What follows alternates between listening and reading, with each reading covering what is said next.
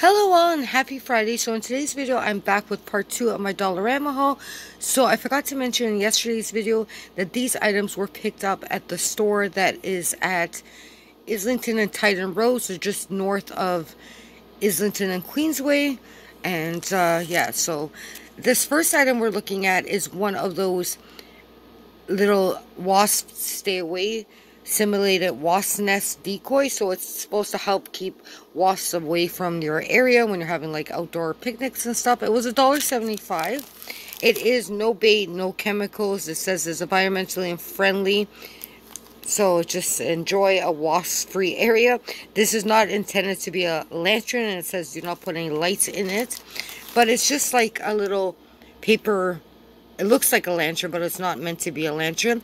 So it just looks like a hive to me. So I got this for Nate because our next unit study in June is going to be bees and butterflies. So I thought this would be something cool to set up maybe on his nature table. And he could do a little bit of that small world pretend play. And he could pretend that uh, this is his beehive with his little bees. So this is what it looks like. And it does have the wire to like put it up. And so, yeah, just thought it'd be something different that he can uh, use in his small role play. And I thought, you know, for that price, even if it just rips its paper, you know, it's not a bad price for this. And then I also thought that if he wanted to pretend he was a beekeeper, I picked up these little gardening gloves. So they were $1.50 and uh, they're really cute. They have like a yellow band for the wrist and then they just have the little bees on them and they have little yellow grips so I thought if he wanted to wear these he could or if he's washing dishes he could wear these too if he wanted to but yeah cute little gardening gloves now for butterflies, I found this little wooden set. I always love these little wooden pieces. These are perfect for arts and crafts activities because you can paint these and decorate them using them on different, uh, you know, your arts creations. They're only $2 and they are by Crafts. or wooden embellishments. They are for ages 3 and up because they are small pieces. But why I like these so much is that you have the little divided compartments and they're just a great little fine motor sorting, thinking skills kind of little activity. You just dump them all into a little container and then have the child sort them out. Now Nate's kind of past that stage. So it's easy for him to identify these but we also use them in counting little um, activities as well. And another way we've used items like this is you pour them into a bag that like he could not see what they are and then he can feel them and then try to uh, match up the ones by just a feel. So that's another way to do it as well. But yeah, so great for that uh, visual discrimination activities as well. But these are just little butterflies. There's some flowers and leaves and there's kind of different and like I said you could use them in your art projects as well I also like to include like some practical life activities and uh, sometimes we do like washing dishes or folding washcloths. Now I was looking through all the washcloths and we are looking for one with like butterflies on it. There was a couple but Nate really liked this one with the purple flower so this is by Dean Azon it's two dollars. It's just a kitchen towel.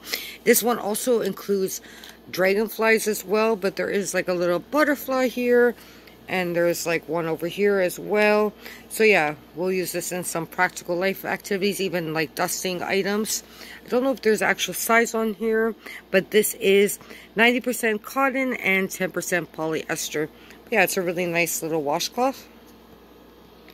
This I thought was a cool little find. These were $1.75 and this is a 12 piece set of magnetic butterflies. So there's different types of butterflies in there. And as you can see, there's a little tiny magnet there. Now, if you're using this with smaller children, I will keep that in mind because that magnet might come off. But uh, I thought Nate could, you know, maybe use his little fishing pole and uh, try to pick these up with his little magnetic fishing pole. Just a fun little activity that he could do. But yeah, I thought that was a neat little find. I picked up another one of these crafts felt swatches. They are $3 and you get 40 pieces of felt. Don't know if it actually says the size of each square, but they come in all these really nice colors. So yeah, use these in a lot of art projects. And these are also great in that small world play, like the greens could be grass, and you can use the blue for water. yellow for sand. So that's always a good little find as well. And that's a good price for this many little swatches of felt. Picked up another one of these little books. They're $1.75.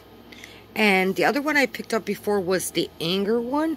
They also come in, I think it was worry and happiness. So this one is Freddie Meets Forgiveness. And it's just a cute little life lesson book. So I grabbed this one and there are pages, like um, areas on the pages that are a little bit glossy, like his hat here. It's kind of a little bit of a touch and feel element as well. But yeah, just I thought this would be another good read to go along with the anger book little, you know, the images are adorable as well. And the last item I want to show you is this. Now, Nate is only five years old, but if I can, I'll try to link it down in the description. He's been watching something on YouTube called Number ology blocks or something like that but i will link it down below. And he's super into math and he's been quoting multiplication. Now i know a lot of these cards he's not going to understand but since he's into it i picked up a deck of these flashcards. So these are by homeroom. There's 36 flashcards and these are the multiplication flashcards. So you know we'll go over and uh, you know i'll just show him and he really he's really into it. He's been doing like three times um, three and quoting that. He also quoted to two neighbors of us. He was like, seven times 10 is 17, but I think he meant to say 17, but yeah. So he likes it. So I'm going to, anything that I can get him that will promote stuff that he likes, I will get it. So these are only a dollar seventy-five, and as he gets older, he might need these anyway. So I grabbed them when I saw them there. So thanks so much for watching this haul from Dollarama. I will talk to you in the next video. I hope you all have a wonderful weekend. Take care and bye for now.